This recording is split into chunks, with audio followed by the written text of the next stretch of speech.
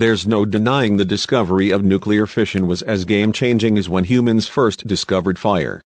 With war breaking out in many parts of the world these days, it seems the threat of annihilation by nuclear weapons is closer than ever before.